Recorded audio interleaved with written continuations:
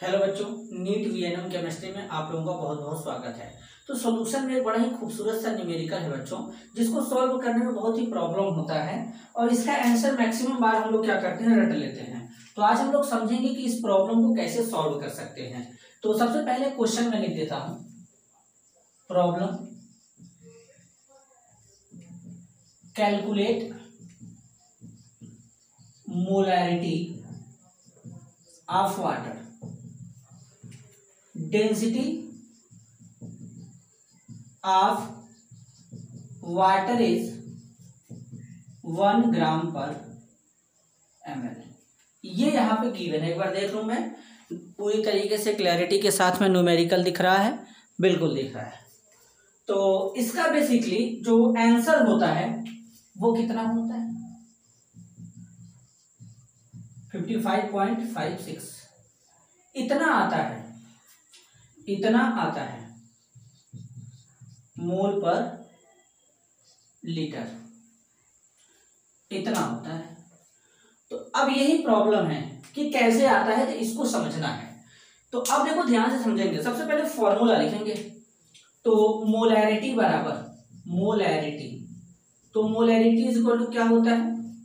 Number of moles of solute नीचे क्या होगा? वॉल्यूम ऑफ़ सोल्यूशन किसमें होगा? लीटर में होगा। क्लियर है? तो अब जरा यहाँ पे ध्यान देंगे। तो मोलैरिटी कैलकुलेट करना है वाटर का। तो यहाँ पे क्या लिखेंगे? Molarity of water is equal to number of moles of solute divided by क्या होगा? Volume of solution. यही होगा ना बच्चों? यानी मोल्स ऑफ़ अब्सोल्यूट यहाँ पे तो बेसिकली हम लोग वाटर ले लेंगे। अब देखो इसको कैसे आगे बढ़ाते हैं। तो यहाँ पर ध्यान देंगे, अब यहाँ पे डेंसिटी दे रखा है। तो डेंसिटी इज़ इक्वल टू क्या होता है? मास बाय वॉल्यूम होता है। मास इज़ इक्वल टू यहाँ पे डेंसिटी इंटू वॉल्यूम हो जाएगा। ये हो जाएगा। तो अब यहाँ पे मास निकालेंगे तो डेंसिटी कितना है? वन है। वॉल्यूम वन लीटर लेंगे।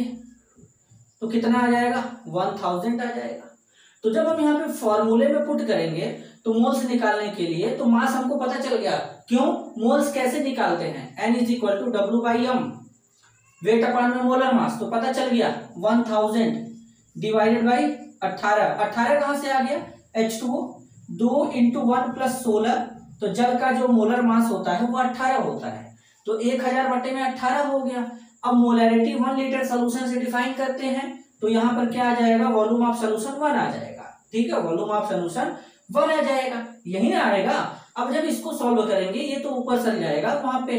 तो m is equal to one thousand into one अट्ठारह। तो m is equal to one thousand divided by अट्ठारह।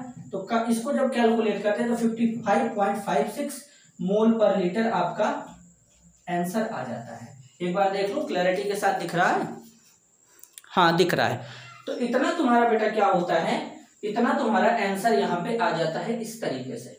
तो इस प्रॉब्लम को इस तरीके से डील करते हैं, इस तरीके से सॉल्व करते हैं। मेरे हिसाब से ये बात तुम लोगों को अच्छे से क्लियर हो चुका हो ठीक है? तो इसको नोट करो, बड़ा ही खूबसूरत सा सवाल था। ठीक है? आगे का कहानी अगले लेक्चर में नए टॉपिक के साथ डिस्कस करेंगे। तो आज के इस टॉपिक को यहीं पे समाप्त करते हैं। मिलते हैं अगले वीडियो में। तब तक के लिए धन्यवाद। नमस्कार।